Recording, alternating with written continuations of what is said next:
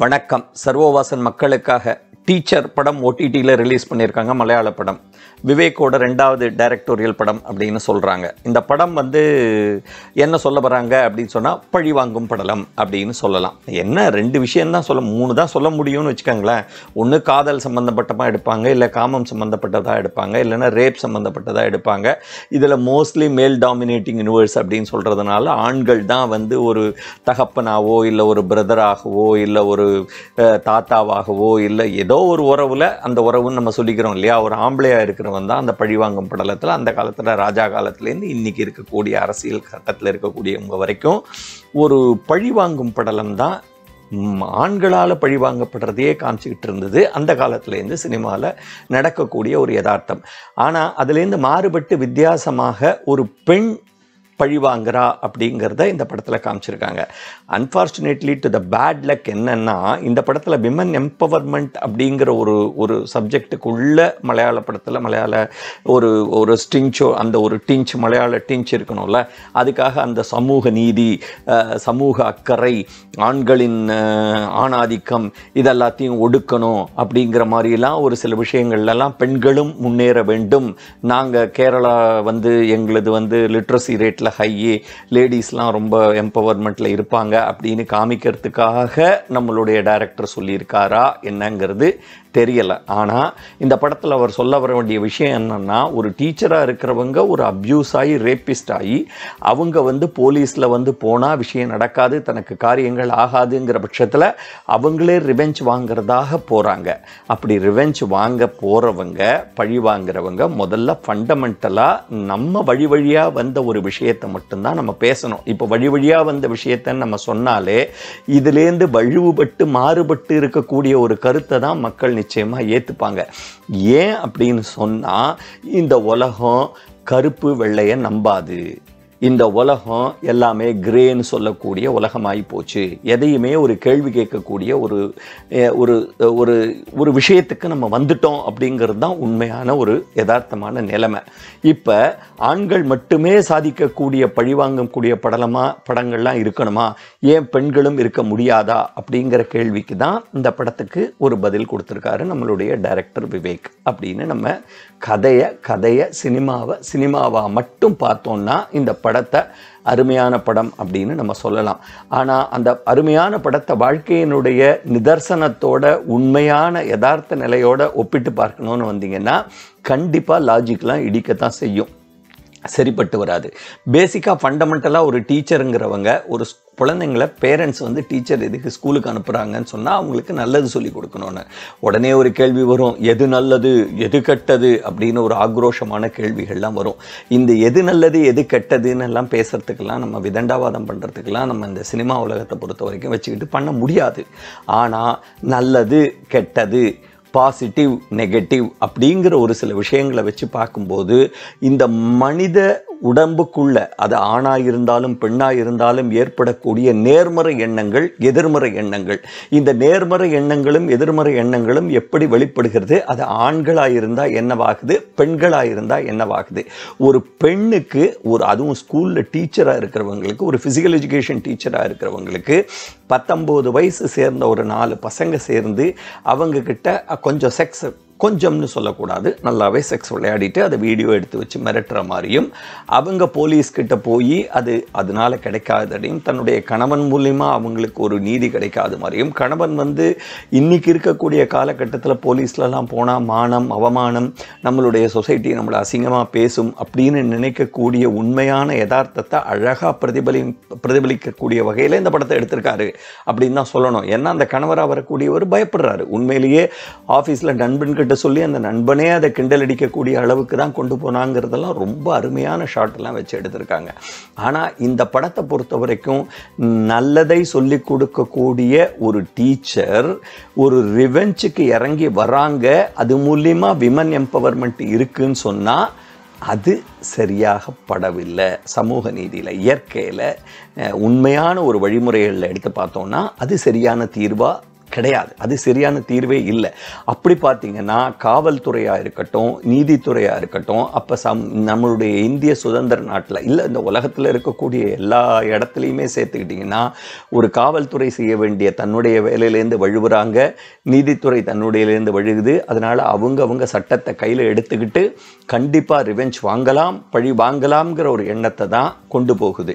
இதை நான் ஏன் சொல்கிறேன் அப்படின்னு சொன்னால் நம்மளுடைய படத்தினுடைய ஹீரோஸ்லாம் இந்த காலத்தில் இருக்கக்கூடிய அஜித் படம் வேதாளம் மாதிரி ஒரு படத்தையோ இல்லை நம்மளுடைய தளபதி மாஸ்டர் மாதிரி ஒரு படமோ இல்லை கத்தி மாதிரி ஒரு படத்தையோ பார்த்துட்டு இல்லை ரஜினிகாந்தனுடைய ஒரு பாட்ஷா மாதிரி படத்தையோ இல்லை ஜாக்கி சானுடைய ஒரு படத்தை பார்த்துட்டோ இல்லை ப்ரூஸ்லி படத்தை பார்த்துட்டோ வெளியில் வரும்போது நாடி நரம்பெல்லாம் முறுக்கேறி அவன் என்னமோ தான் ஒரு பெரிய ஹீரோ மாதிரியும் அவன் அந்த டூ வீலர் ஸ்டாண்ட்லேருந்து வண்டி எடுக்கும்போது எடுக்கிற ஸ்பீடை பார்த்தீங்கன்னா இவன் என்னமோ ஒரு ஐநூறு கிலோமீட்டர் வேகத்தில் போகக்கூடிய ஸ்பீடுக்கு போகிற மாதிரி தன்னை கற்பனை பண்ணிக்குவான் அப்படிங்கிறது உண்மையான ஒரு விஷயம்.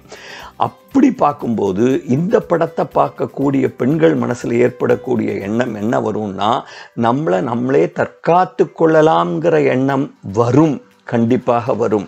ஆனால் தற்காத்து கொள்ள முடியுமா முடியாதா அதை இப்படி செய்யலாமா செய்யக்கூடாதா அப்படிங்கிறதுல கொஞ்சம் தடுமாற்றம் ஆயிருக்காரு நம்மளுடைய டைரக்டர் விவேக். அதுதான் உண்மை. அதை விட இன்னொரு கேவலமான ஒரு விஷயம் என்னன்னு சொன்னால் ஒரு பெண்ணுக்கு தற்காப்பு இந்த இந்த காமம் அப்படிங்கிற விஷயத்தில் வரும்போது ஆண்கள் அது எத்தனை வயசானாலும் அந்த பத்தொம்போது இருபது வயசு ஆனாலே ஆண்கள் வந்து பெண்களை போகப் பொருள்களாக தான் பார்க்குறாங்க. பெண்களுக்கு வந்து சேஃப்டி எங்கே வருதுன்னு சொன்னால் ஒரு கே ஒரு ஒரு ஒரே சேம் ஜெண்டர்கிட்ட இருக்கக்கூடிய ஒரு ஈர்ப்பு இருக்கக்கூடியவன்கிட்ட தான் பெண்களுக்கு வந்து ஒரு ஒரு சேஃப்டி இருக்கும். ஒரு கேயை பார்த்தா ஒரு பெண் பயப்பட வேண்டிய அவசியம் இல்லை. அவனால் ஒன்றும் பண்ண முடியாது. அவன்கிட்ட தைரியமாக பழகலாம். தன் உடலை தொட்டு கூட பேசலாம். என்ன வேணால் செய்யலாம் அப்படிங்கிற மாதிரியான ஒரு உணர்வை ஒரு போலீஸ் இன்ஸ்பெக்டர் மூலியமா கொடுத்து அவங்க உதவி பண்ணுற மாதிரி இன்டைரக்டாக பழிவாங்குறதுக்கு செய்ய காமிச்சிருக்கிறது. அவ்வளவு நல்லா படலை. கண்டிப்பாக அது நல்லா படலை. ஏன்னா இந்த கேயாக இருக்கக்கூடியவங்க ஒரே செக்ஸில் ஃபீலிங் இருக்கக்கூடியவங்க either of a lesbian or ஹோமோசெக்ஸாக இருந்தால் கூட அவங்க ஆப்போசிட் செக்ஸுக்கிட்ட அட்ராக்ஷன் இருக்காது அப்படிங்கிறது வேணால் உளவியல் ரீதியான ஒரு உண்மையாக இருந்தால் கூட அவர்களுக்கும் திருமணம் ஆயிருக்கு அவர்களுக்கும் குழந்தைகள் இருந்திருக்கிறது அப்படிங்கிறது தான் உண்மை. சயின்ஸில் அது உண்மை. இதை வந்து தவறுதலான ஒரு கண்ணோட்டத்தோட ஒரு சித்தரிக்கப்பட்ட ஒரு கதையாக தான் இதை நம்ம என்னை பொறுத்த வரைக்கும் நான் பார்ப்பேன். ஏன்னா எனக்கு வந்து உலகத்தில் எது உண்மையோ எது பொய்யோ எது நிதர்சனமோ அதெல்லாம் கூட எனக்கு கவலை கிடையாது. என் மனசில் எது நல்லது கெட்டதுன்னு எது படுதோ எனக்கு எது கன்வின்சிங் ஆயிருக்கோ அதை தான் என்னுடைய விமர்சனமாக வைக்கிறேன்.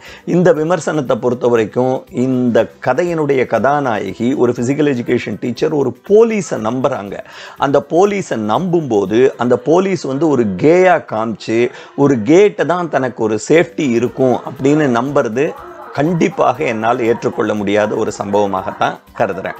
அதே மாதிரி இவங்க என்ன பண்ணணும்? இவங்க எடுத்தது படத்தினுடைய கதாநாயகிக்கு ஒரு மாமியார் ரோலில் ஒரு லேடியை கொண்டு வராங்க. அந்த லேடிக்கு என்ன பண்ணியிருக்காரு அவர்? எடுத்த உடனே ஒரு ஒரு பெரிய ரெவல்யூஷனிஸ்ட்டு ஒரு ஒரு தீவையே காப்பாற்றக்கூடிய அளவுக்கு போராடக்கூடிய ஒரு கல்யாணிங்கிற கேரக்டரில் ஒரு லேடியை இன்ட்ரொடக்ஷன் பண்ணுறாங்க அந்த இன்ட்ரொடக்ஷனுக்கு எப்படி கொண்டு வராங்கன்னா நம்ம பாட்சாவில் ரஜினிகாந்த் வரும்போது அப்படி சிகரெட் அப்படி தூக்கி போட்டு போடுவார். அது மாதிரி இந்த அம்மா பீடியை வாயில் வச்சுட்டு வந்தால் அப்படி ஒரு மேன்லினஸ் சாரி அப்படி சொன்னால் உடனே ஆணாதிக்கம்னு சொல்லிடுவாங்க மக்கள். அதை நான் சொல்ல வரல. அப்படி சிகரெட்டு குடித்தா தான் ஒரு கெத்து வரும் அப்படின்னு சொன்னால் அது தவறுதலானது அப்படிங்கிறது தான் ஏன்னா ஸ்மோக்கிங் இஸ் இன்ஜூரியஸ் டு ஹெல்த்னு படத்தில் மேலே கொட்டை எழுத்தில் போட்டுட்டு டைரக்டர் தன்னுடைய வாய்ஸ்லேயோ இல்லை ஹீரோ ஹீரோயின் வாய்ஸ்லேருந்து சொல்ல சொல்லிட்டு எடுத்த உடனேயே திருப்பி ஒரு லேடி அதுவும் ஒரு ஒரு பெண் அவங்களுக்கு வந்து கண்டிப்பாக புற்றுநோய் சம்பந்தப்பட்ட அவேர்னஸ் அதுவும் கேரளா போன்ற காட்ஸ் ஓன் கண்ட்ரியில் இருக்கக்கூடிய ஒரு ஒரு பெண்மணி பீடியும் சிகரெட்டும் பீடியும் சிகரெட்டும் குடிப்பது தவறு என்று சொல்ல வரல. அதனால் உடலுக்கு உபாதை வருகிறது கேன்சர் வருகிறது இறந்து போனவர்களுடைய எண்ணிக்கை கூடுதலாக இருக்கிறதுன்னு நிறைய ஸ்டாட்டிஸ்டிக்ஸ் சொல்கிறதுனால இந்த விஷயத்தை நம்ம சொல்ல முடியுமா இருக்குது ஈவன் ரஜினிகாந்த் வந்து சிகரெட் குடிச்சிட்டு வந்து அவர் ஸ்டைல் பண்ணால் அதை வசத்தின்னு சொல்லக்கூடிய விமர்சகன் நான் அல்ல. ரஜினிகாந்தை எனக்கு பிடிக்கும். ஆனால் அவர் செய்கின்ற சிகரெட் சஜஸ் அந்த ஜாலங்கள்லாம் மக்களுக்கு அசிங்கம் கேவலம் அதுபோல நிறைய மாணவர்கள் அவரை பார்த்து கெட்டு போனது உண்மைதான் அப்படிங்கிறத நான் ரொம்ப ஆழ அழுத்தம் திருத்தமாக என்னுடைய இந்த பதிவில் நான் போடுறேன். ஏன்னா ஒரு பெண் அதுவும் ஒரு லேடி அவங்க வந்து பீடி குடிச்சிட்டு வர மாதிரி அவங்க கெத்தாக காமிக்கணுங்கிறதுக்காக ஒரு விமன் எம்பவர்மெண்ட்டை நீங்கள் காமிங்க. அதுக்காக வந்து ஆம்பளை போடுற மாதிரியே ட்ரெஸ்ஸு போட்டுக்கிட்டோம் தவறு இல்லை ஆம்பளை போடுறோம் ஆம்பளை மாதிரியே பிஹேவ் பண்ணட்டும் ஆம்பளை மாதிரியே அவங்களும் தற்காப்பு கலைகள்லாம் கற்றுக்கிட்டோம் நல்லது. எல்லாமே ஈக்குவாலிட்டி இருக்க வேண்டியது தான் ஆனால் அதுக்காக அவங்கள மாதிரியே நானும் பீடி குடிப்பேன் சிகரெட் குடிப்பேன். அவங்களுக்கு மட்டும்தான் அது சொந்தமாக நானும் குடிப்பேன்னா அவங்க வந்து போகிற வேலியில் போகிறத எடுத்து விட்டுக்கிறாங்க. அவங்களுக்கு அந்த கேன்சருங்கிற வியாதி வந்து இறந்து போகிறாங்க அவங்க செய்கிறதே தவறு. அவங்க உடலுக்கு அவங்களே தீங்கு நினைக்கும் போது அதே தீங்க ஒரு பெண்ணாக இருக்கக்கூடியவங்க செய்யாத அப்படின்னு சொல்லணுமே ஒழிய புத்தி சொல்லணுமே ஒழிய அவங்களுக்கு கொண்டு வந்து அவங்களுக்கு அந்த ஒரு கெத் ரோலை காமிக்கணும்னு அவங்கள வந்து ஒரு ஃப்ரீடம் ஃபைட்டர் கேட்டகரியில் காமிக்கும்போது சரிப்பட்டு வரல. இதுவும் விமன் எம்பவர்மெண்ட்டுக்காக காமிக்கக்கூடிய மாமியார் ரோலில் இருக்கக்கூடிய கல்யாணி கேரக்டரையும் டெபிக் பண்ண விதம் சரியில்லை இந்த படத்தை பொறுத்த வரைக்கும். படத்தினுடைய மூலக்கதை மூலக்கரு இதனுடைய விஷயங்கள் எல்லாமே வந்து விமன் எம்பவர்மெண்ட்டை பேஸ் பண்ணியே கொண்டு போகிறாங்க அதை விட இல்லாமல் பழிவாங்கிறது அப்படிங்கிறது ஒரு விஷயம். அந்த பழிவாங்கித்தான் ஆகணும் அப்படிங்கிறது பண்ணலாம். ஆனால் ஜெய்பீம் மாதிரி ஒரு படத்தெல்லாம் நம்ம பார்த்துட்டு சட்டத்துக்காக போராடி வாடக்கூடிய சந்துரு மாதிரி ஒரு பெரிய ஹைகோர்ட் உச்சநீதி உயர்நீதிமன்ற ஒரு நீதிபதி இருந்திருக்காரு வக்கீலாக இருந்திருக்காரு சந்துரு மாதிரிங்கிறதெல்லாம் நம்ம பார்த்துருக்கோம் படங்களெல்லாம். அந்த மாதிரி படங்களெல்லாம் நம்ம பார்த்தபோது இந்திய நாட்டில் இன்னும் நம்மளுக்கு வந்து justice may be delayed but it is not denied அப்படின்னு தான் சொல்லப்படுகிறது. நம்ம இன்னும் நம்பிக்கை வைக்கணும். நீதித்துறை மேரில் நம்பிக்கை வைக்கணும். காவல்துறை பேரில் நம்பிக்கை வைக்கணும். அப்படிங்கிற மாதிரியான கருத்துள்ள படங்களை மக்களுக்கு கொண்டு போய் சேர்த்தா இந்த வெறித்தனமும் காதலும் இந்த காமமும் இந்த ஒரு ரேப்பிசமும் இதெல்லாமே குறையக்கூடிய வாய்ப்புகள் உள்ளது. இப்படி இப்படி ஒரு படத்தை வந்து ரிவெஞ்ச் பண்ணுற மாதிரி ஒரு பெண்ணே ரிவெஞ்ச் பண்ணுற மாதிரி எடுத்தா அதை விட ஒரு முக்கியமான ஒரு லாஸ்ட் சீனில் நாலு பேர்கிட்ட போய் இந்த கதாநாயகி மாட்டிக்கிறா திருப்பி அவங்க நாலு பேரும் சேர்ந்து அவளை அடி அடின்னு அடிப்பாங்களாம். ஆனால் அந்த நாலு பேர் சேர்ந்து அடிக்கும்போது அவங்க திடீர்னு எழுந்து அவங்க யார்கிட்டயோ வித்தை கற்றுக்கிட்டு வந்தாங்க. அவங்களால இது பண்ண முடியும் மார்ஷியல் ஆர்ட்ஸ் பண்ண முடியும் அப்படிங்கிறத காமிக்கணுங்கிறதுக்காக சண்டை போடுற மாதிரி காமிச்சிருக்காங்க. அப்போ ஒரு பெரிய தவறு பண்ணியிருக்காரு டைரக்டர் என்ன தவறு அப்படின்னு சொன்னால் ஒரு மார்ஷியல் ஆர்ட்ஸ் பண்ண தெரிஞ்ச ஒரு பெண் நாலு பேர் சேர்ந்து அடி அடின்னு அடித்து கையை முறுக்கி கழுத்தை வளைச்சி கழுத்தை வச்சு நசுக்கி அவங்க ஒன்றுமே இல்லாத அளவுக்கு நாலு ஆண்கள் சேர்ந்து செய்யக்கூடிய ஒரு விஷயத்தை காமிச்சிட்டு விஷுவலாக காமிச்சிட்டு அதுக்கப்புறம் அவங்க ஏதோ எழுந்து வர மாதிரி காமிச்சா மக்கள் என்ன ரஜினிகாந்த் ஐம்பது பேரை சேர்ந்து ஒரே ஆள் அடிப்பார். பறந்து பறந்து அடிப்பார். நம்ம தளபதி இருபது பேர் அடிப்பார். அஜித் ஐம்பது பேரை வேதாளம் நூறு பேர் அடிப்பார். அந்த மாதிரி அடிக்கிற ஒரு ஆணாதிக்கம் நிறைந்த ஒரு படத்தை எவ்வளவு மக்கள் வந்து ரசித்தாங்க வெறுத்தாங்க அப்படிங்கிறதெல்லாம் நமக்கு தெரியும். அதே மாதிரி ஒரு பெண்ணால் நாலு ஆண்கள் அதுவும் சின்ன பசங்க அவங்க அவங்களுடைய ஸ்ட்ரென்த்தை வச்சு நாலு பேர் சேர்ந்து ஒரு பெண்ணை அடக்க முடியாது அப்படிங்கிற மாதிரி காமிச்சிட்டு அடக்கிடுறாங்க. கையை ஒடிச்சிடுறாங்க. அதுக்கப்புறம் இவங்க திரும்பி கை ஒடிக்கப்பட்ட கையோட இவங்க எந்திரிச்சு சண்டை போடுறாங்கன்னு காமிக்கிறச்ச இந்த அசிஸ்டன்ட் டேரக்டர்ஸ்லாம் இருக்காங்கள்ல அவங்களாம் கொஞ்சமாவது சீனை எடுத்ததுக்கப்புறம் ரஷ் போட்டு பார்த்து டேரக்டர் ஐயா சாமி இந்த மாதிரிலாம் படம் எடுக்காதீங்க. இதெல்லாம் பார்த்தா மக்கள் திட்டுவாங்க. இல்லை என்ன மாதிரி ஒரு ஆள் விமர்சனம் பண்ணுறவர் கண்டிப்பாக இந்த சீனெல்லாம் வந்து கேவலம் தான் சொல்லுவாங்க. அப்படின்னு கொஞ்சம் புரிஞ்சுக்கிட்டு கதையை எடுத்துருக்கலாம். எப்போ நீங்கள் அந்த லேடி வந்து தைரியமான ஒரு பெண்மணியாக காமிச்சிட்டிங்கன்னா அப்போ அவங்க எடுத்த உடனேயே அந்த வீரியத்தோடையே கிளம்பியிருக்கணும். அந்த நாலு பேரும் அடிக்க கிளம்பியிருக்கணும்.